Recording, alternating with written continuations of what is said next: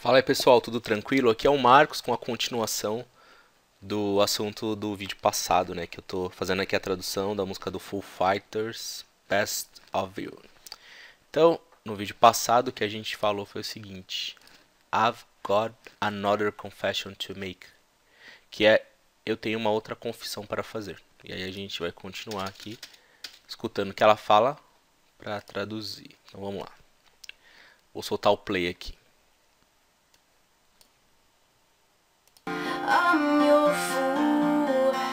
Aqui ela fala um pouco mais pausado. Ela fala o seguinte: I am your fool.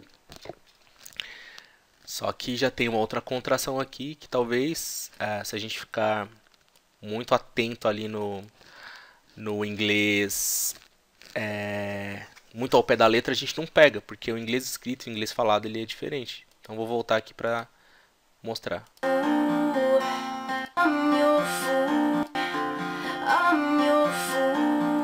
Ela não fala I am your fool. Ela fala am. Porque esse I am, ele vira am. Vira isso aqui, ó. Am your fool. O que que esse am your fool quer dizer? Quer dizer o seguinte. Eu sou seu tolo. Se for no caso de mulher, eu sou sua tola, né? Tipo, eu tenho uma outra confissão para fazer. Eu sou a sua tola. Eu sou, tipo, no amor, assim, alguém que. Eu, eu penso, eu, né? Acho que é isso. Faz alguém de gato sapato. Então, eu tenho uma outra confissão para fazer. I've got another confession to make. I'm your fool. I've got another confession to make. Tenho uma outra confissão para fazer. Traduzindo, né? I'm your fool. Eu sou o seu tolo. Então, I've got another confession to make. I'm your fool. Vamos continuar com a música. Vou dar play de novo.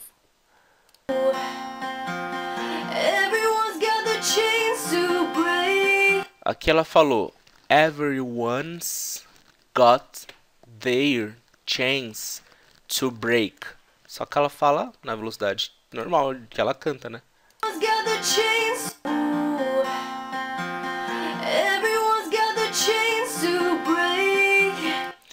Everyone's got their chains to break. Ela fala isso aqui. Every everyone's got their chains to break. Everyone's got their chains to break. Que traduzindo seria o seguinte, vou até mudar de cor aqui para facilitar. Ela fala que cada um tem suas correntes para quebrar. Então, ela, o, que ela, o que a tradução diz é isso aqui. Everyone's got their chains to break. Cada um tem suas correntes para quebrar. Então, aqui everyone's got, é cada um tem. Their é deles, né? Deles, suas. Chains, correntes. To break, quebrar. Break é quebrar. Break é quebra. To break é o ato de quebrar. Então, everyone's got their chains to break. Cada um tem as suas correntes para quebrar. Cada um tem as suas coisas para se libertar, né? Everyone got, got their chance to break. A tradução da música é bem legal, assim, ela é, é, é tipo forte, assim, é, eu curto. Everyone got their chance to break. Deixa eu mudar aqui pra preto de novo. E vamos dar o play aqui, vamos continuar.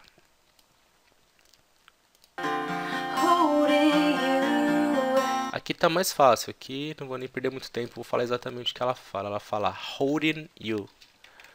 Holding you. Que traduzindo é simplesmente...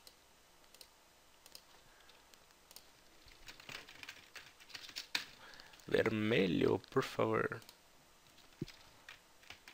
Holding... Ops, vou escrever igual.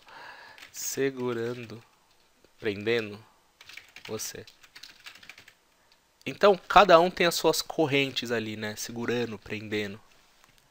Vou voltar ali pra gente sempre conectando. Então, cada um tem suas correntes para quebrar, segurando você, né? Então, cada um tem as suas correntes ali, prendendo a si. Vamos continuar.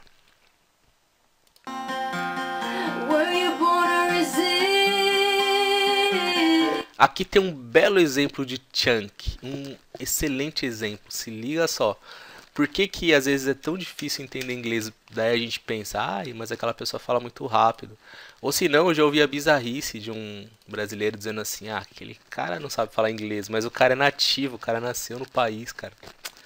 Ele pode ter o sotaque, enfim, da região dele, mas ele sabe falar a própria língua dele, certo?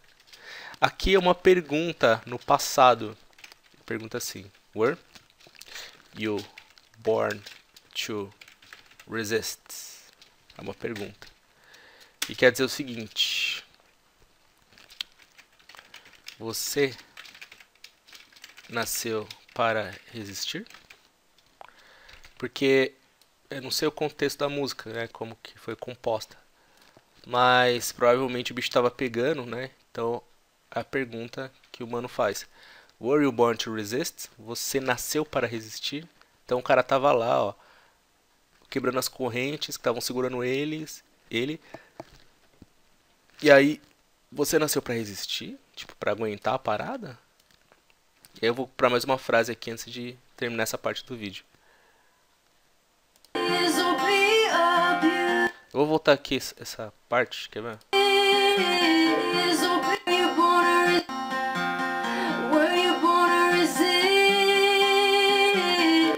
Ela fala ela pula esse to também.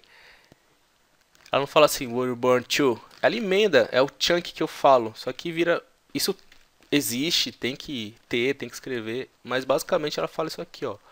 Were you born resist? Were you born resist? Were you born resist? Certo? É o chunk, vocês têm que pegar isso. A palavra se, ops, se emenda e vira uma uma coisa só praticamente.